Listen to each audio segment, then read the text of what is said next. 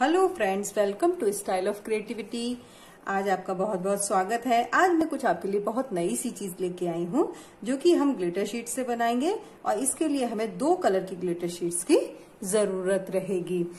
और इसके लिए मैंने दो कलर के ही ग्रीन कलर की ग्लिटर शीट्स ली हैं, जिसकी हम लीव्स बनाएँगे। कुछ मोती लिए हैं हमने, और ये इनका मैं आपको पूरा नापा बताऊँगी।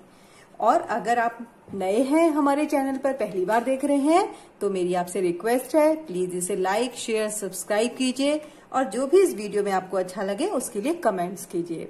और आप मेरी और भी वीडियोस देखना चाहते हैं स्टाइल ऑफ़ क्रिएटिविटी की तो आप डिस्क्रिप्शन बॉक्स में भी लिंक्स देख सकते हैं और नहीं तो एंड स्क्रीन पर भी आप मिल सक, मिल जाएगी आपको प्लेलिस्ट। तो चलिए, वीडियो हम बहुत स्पेशल है, सुंदर है शुरू करते हैं। तो इसके लिए सबसे पहले हमें एक कलर के तीन सर्कल्स चाहिए। तो जो सबसे बड़ा सर्कल है, वो एट सेंटीमीटर्स का है। उससे छोटा जो है, वो सिक्स सेंटीमीटर्स का है। और उससे छोटा जो है, वो फाइव सेंटीमीटर्स का है। ये हमने तीनों जो सर्कल्स काटे हैं, वो हमने येलो कलर के काटे हैं। कि आप देख सकते हैं इस तरीके से। और इसी तरीके से जो हमने पिंक कलर के काटे हैं, वो मैंने 6.5 वाला लिया है एक, और एक जो है वो उससे छोटा है, वो है 3.5 3.5 सेंटीमीटर्स का। तो इस तरीके से आप ले सकते हैं। और जो बीच वाला था, वो 5 सेंटीमीटर्स का था। तो इस तरीके से हमने 5.6.5 सेंटीमीटर्स और 5 सेंटीमीटर्स और 3.5 सेंटीमीटर्स के सर्कल हमने ले लिए हैं। अब इसके लिए जो हमने लीफ बनाई है, उसका भी नापा मैंने लिखा है। ये 4.5 सेंटीमीटर्स की लंबाई में है और 2.5 सेंटीमीटर्स की चौड़ाई में है। ये आपके ऊपर टोटल डिपेंड करता है। आप किसी भी तरीके की ले सकते हैं, जैसी भी आपको पसंद हो, उस तरीके की आप ले सकते हैं। अब ये हमने सर्कल ग्लिटर शीट्स के काटे हैं, लेकिन आप कोई भी, जो भी शीट आपके पास प्लास्टिक की जो प्लेन वाली आती हैं, बिना ग्लिटर वाली, वो भी ले सकते हैं। अब इसके लिए हमने इसमें आपने देखा होगा कि मैंने इसमें मार्क किया हुआ है। मार्क हमने इसलिए करना है क्योंकि हमें इसमें कट लगाना है। तो मैं ये कैसे कट लगाना है आपको दिखाती हूँ। तो हमने सबसे पहले इसको हाफ़ फोल्ड किया है और हमने एक पेंसिल से इसमें मार्क कर लिया है, इस तरीके से। फिर दूसरी साइड से हाफ़ किया है, इन दोनों एंड्स को मिला के, और फिर हमने इसको मार्क किया है। इस तरीके से हम सारी साइड से इसको हाफ़ करके और इसमें मार्क कर लेंगे हम। पेंसिल से करेंगे, जिससे कि वो बहुत ज़्यादा विजिबल नहीं रहता है। और ये इस तरीके से हम ये मार्क कर लेंगे। मार्क करने के बाद हमने इन सारे सर्कल्स में ही मार्क कर लेना है। अब मार्क करने के बाद हम उल्टी साइड से ही, बिल्कुल ग्लिटर साइड से नहीं, दूसरी साइड से ही हम इसमें बहुत छोटे छोटे कट्स लगाएँगे।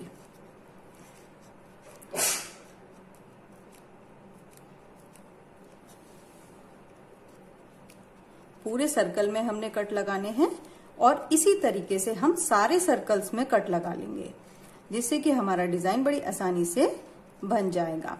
इसके लिए हमको हॉट ग्लू गम की भी ज़रूरत रहेगी, क्योंकि हमें जो फूल चिपकाने हैं, वो हम हॉट ग्लू गम से ही चिपकाएँगे। इसके लिए हमें प्रेस की भी ज़रूरत रहेगी आयरन बोलते हैं, जो हम कपड़ों पे प्रेस करते हैं, उसकी भी हमें ज़रूरत रहेगी। तो और हम मैंने इसमें मोती लगाए हैं। मोती की जगह आप कुछ भी लगा सकते हैं, जो भी डिज़ाइन आपके पास अवेलेबल है। और आप ये मेरी वीडियो पूरी एंड तक देखिएगा, जिससे आपको ये पूरा फूल अच्छे से कैसे लगाना है, ये भी आपको समझ आ जाएगा। देखिए, ये इस तरीके से कट लग गए हैं इसमें। जो हमने छोटे कट लगाए हैं, उसके बाद जो हमने पेंसिल से मार्क किया था, अब हम उन कट्स तक भी काट लेंगे इनको। हम पूरा एंड तक नहीं काटेंगे। इसको जुड़ा हुआ छोड़ेंगे थोड़ा सा जिससे कि हमारा फूल की शेप आ सके इसमें। तो आप इसको पूरा कट ना करें। एक ही मैं आपको कट करके दिखा रही हूँ और फिर आप उसी हिसाब से इसको कट करेंगे। देखिए मैंने इतना ही कट किया है बाकी का जुड़ा हुआ है सारा इसका। देखिए जो हमने सबसे बड़ा वाला फूल लिया था हम सबसे पहले उस, उसको लेंगे और उस पर हम गम लगा देंगे बीच में। और बीच उससे छोटे वाले साइज़ को हम इसमें फिट कर देंगे। और पेटल्स को हम थोड़ा थोड़ा शेप दे देंगे, जिससे हमारी पेटल्स चिपक ना जाए आपस में। ये ये स्टेप आप करना ज़रूर करिएगा, नहीं तो आपकी ये फूल की जो ब्यूटी है, खूबसूरती है, वो उतनी नहीं आएगी। फिर हम इससे छोटा वाला लगाएँगे इसमें। इसके साथ भी हम यही करेंगे कि जो इसकी पेटल्स हमने एम्बोस की हैं, वो हमारी अच्छे से दिखाई दे डिस्प्ले हो अच्छे से। और फिर इसके बीच में हम एक मोती जो हमने लिया है सुंदर सा, उसका ध्यान रखेंगे, छेद हमेशा साइड में रहे। इस तरीके से हम इसमें मोती भी लगा देंगे। ऐसे ही हम बड़े वाले का करेंगे।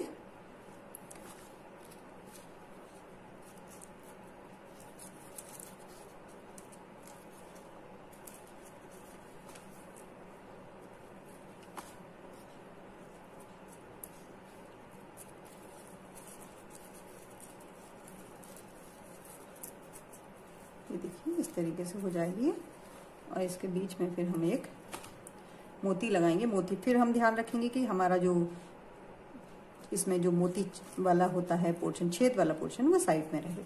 ये हमारी लग चुकी हैं। अब हम आज ये जो क्लिप होती है, जिसको हम जूड़े में भी लगाते हैं, कई बार बालों में भी साइड में लगाते हैं, डिपेंड करता है कि आप इस किस तरीके से यूज़ कर रहे हैं। इसमें हम पीछे और ग्लूगम लगा के और ये बड़ा वाला फ्लावर पेस्ट करेंगे हम इसमें।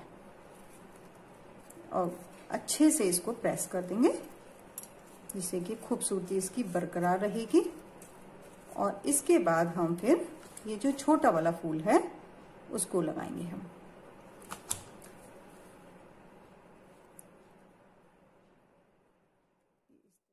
ये जो हमने कट लगा लिए हैं, उसके बाद हम वो पेंसिल यूज़ करेंगे इसको पकड़ने के लिए। पेंसिल को हम बीच में रखेंगे और इसको हम प्रेस पे लगाएँगे। प्रेस पे लगाने के बाद हम इसको थोड़ा थोड़ा घुमाएँगे ताकि हमारा सारा, जितना भी हमारा पेटल्स बननी है इसकी, वो एम्बोस हो जाएँगी हमारी गरम करने से। आप थोड़ा ध्यान से करिएगा, प्रेस गरम रहती है तो आपको टच नहीं करना है हल्के हल्के हाथ से आप इसको घुमाते जाइएगा।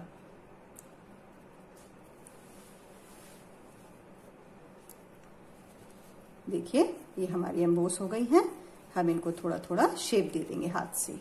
इसी तरीके से हम सारी पेटल्स को कर लेंगे।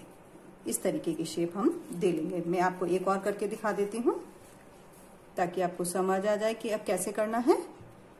इसको हम राउंड राउंड घुमाएँगे। प्रेस पर रखकर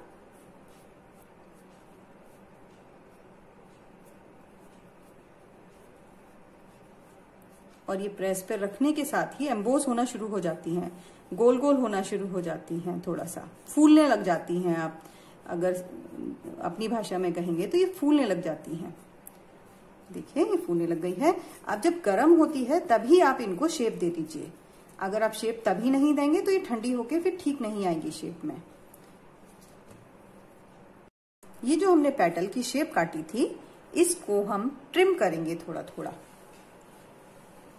थोड़ा थोड़ा ट्रिम कैसे करेंगे? हम पहले स्लांट करेंगे और फिर हम स्लांट काटेंगे। टेढ़ा काटेंगे हम पहले तो ये हमारे ऐसे पीसेस निकल जाएँगे इसके पतले पतले जिससे कि हमारी जो कटीली पत्तियों की शेप होती है, वो शेप हम इसमें दे रहे हैं। तो आप जितनी बड़ी पत्ती चाहें, उतनी बड़ी आप लगा सकते हैं। नापा मैंने आपको बताया ही था। अगर आप उस नापे की बनाना चाहते हैं तो ये सेम साइज़ आपका बन जाएगा। ये आप उल्टी साइड से भी कर सकते हैं, सीधी साइड से भी कर सकते हैं। थोड़ी उल्टी साइड से करने में थोड़ी आसानी रहती है, क्योंकि हमें दिखाई देता है कि हमें कितना डीप कट करना है। इसका ये ग्लिटर वाला पार्ट आप ज़रूर निकाल दें, बीच में से जो आपने काटा है, नहीं तो शेप प्रॉपर नहीं आ पाएगी आपकी। देखिए, इस तरीके से पत्ती दिखाई देगी। अब हम पत्ती पेस्ट करेंगे तो ये हमने ग्लू लगाया और एक हमने लाइट पत्ती लगाई है। तो हम दूसरी साइड इसमें हम डार्क पत्ती लगाएँगे। जिसका इसका कॉम्बिनेशन बहुत अच्छा लगेगा देखने में। ऐसी हम इसमें पीछे की साइड लगाएँगे। एक हम डार्क लगाएँगे पत्ती को और एक हम लाइट लगाएँगे। ये ऐसे दिखाई देगा। और एक पत्ती हम आगे लगाएँगे। जिससे हमारा ये पूरा खूबसूरत सा फूल के साथ हमारा ये तैयार हो जाएगा। देखिए कितना खूबसूरत लग रहा है। जब आप ये बालों में लगाएँगे बहुत खूबसूरत लगता है। पूरी वीडियो देखने के लिए आपका बहुत बहुत धन्यवाद। Thank you very much